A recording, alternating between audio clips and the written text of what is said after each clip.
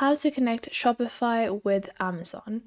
Hey guys, welcome back to the YouTube channel. Today we will be going over how you can connect your Amazon account to Shopify and import products onto your Shopify store. So let's get into it. Now, Amazon has a associates program, which is also known as the affiliate program, and you can click on product linking over here. If you don't have a associates account, you will have to create one. It's a very simple process. Just go on to affiliate-program.amazon.com and this will be you know a sign up page i have already signed up it takes a little time it can take like upwards of a week to get approved once you are approved you can start adding your Amazon product onto your Shopify store.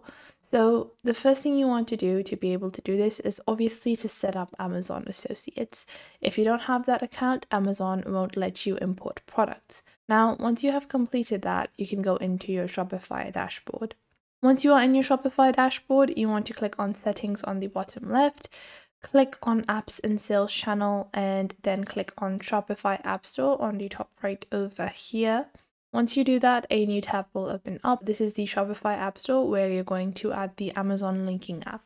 So from here, you're just going to search for Amazon and there are multiple different uh, applications or integrations, you can call them, that allow you to sell products from Amazon. So the one that I like to use is Amazon Integration Plus because it has a free plan, but I don't really recommend it. It has, you know, a lot of bugs often and, you know, there are issues with it. So what I recommend is using Amazon Importer Spreadr app. This one is very efficient and you can see by the ratings it, you know, is one of the best or the CedCommerce Amazon channel. So I'm going to use the Amazon Importer Spreadr app. Then I will click on add application and it starts at only $5 a month, so it's relatively inexpensive. From here, you're just going to click on install application and you guys can see the payment plan. You're gonna going to click on approve over here. It's five dollars every 30 days. And then you will be linked to the amazon dashboard. So the first thing you want to do is you can see on the top you have this basic home page. Then you have a settings page. Then you have your associates ID that you can save over here. So you're going to go into your Amazon associate, you can go into your account settings and then copy and paste your associates ID.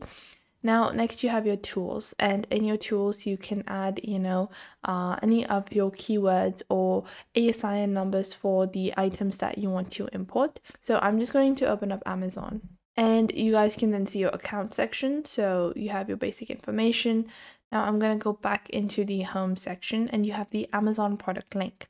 So to get started, it's very easy.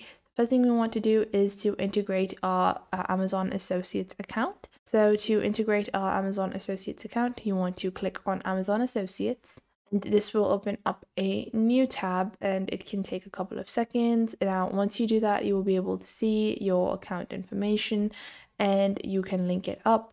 Then you have your product links. And now if I go onto Amazon and I view any product, so let's say I go into all and I go into maybe dresses so if I open up this item over here, you guys can see the entire item, the listing. So I can copy the item uh, URL and I'm going to go into my Amazon product link back in my Spreadr.co app, click on add product, and now it is importing the product directly from Amazon to Shopify.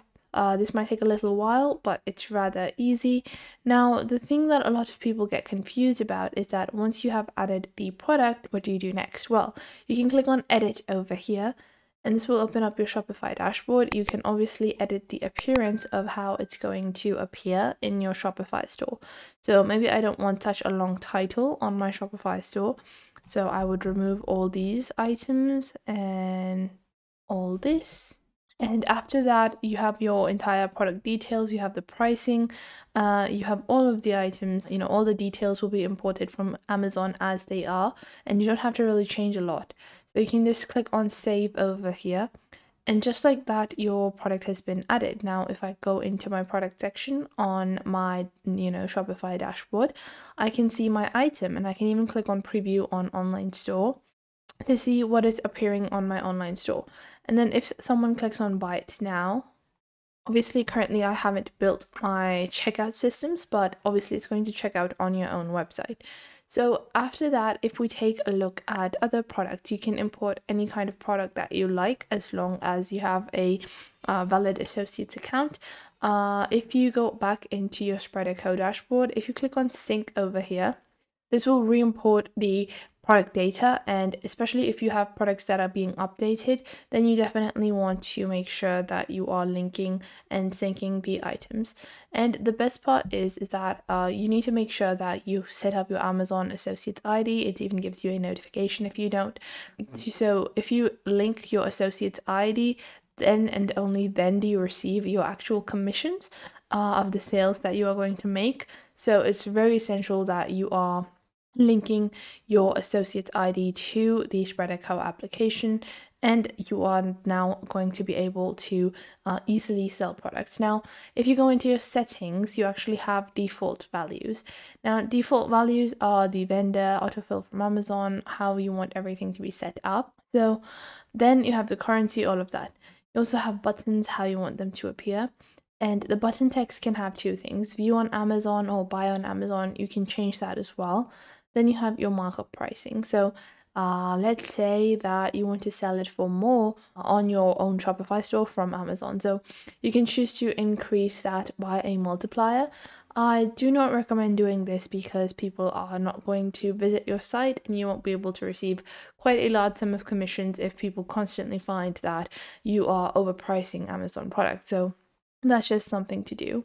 Now, I hope you guys found this video helpful. This is just it. It's rather simple. And if you don't like this integration, you can definitely use the other Shopify apps that I recommended. They are all just as useful and efficient to use. Make sure to leave a like and subscribe to our YouTube channel. And if you found this video helpful, make sure to share it with another friend. Make sure to share it with your business partners as well so you guys can learn together and check out our other videos. I have quite a few videos on Shopify, how you can import products from CJ Dropshipping, AliExpress, and so many other suppliers as well, and how you can customize your Shopify store. Make sure to check those out. And if you ever feel like uh, you're having errors with a Shopify, you know, application, if you go into apps and sales channels, you can even just click on Shopify App Store and download applications from there. But if you find that you're having errors with certain applications, you can't find them on the App Store, you can directly download them and open up the zip file. Uh, that allows you to integrate apps directly onto your Shopify store. I have some people that found it an issue to import plugins from here, so just Go on Google search for the app that you're looking for and a native website link usually does appear where you can download it from. So I will catch you guys in the next video.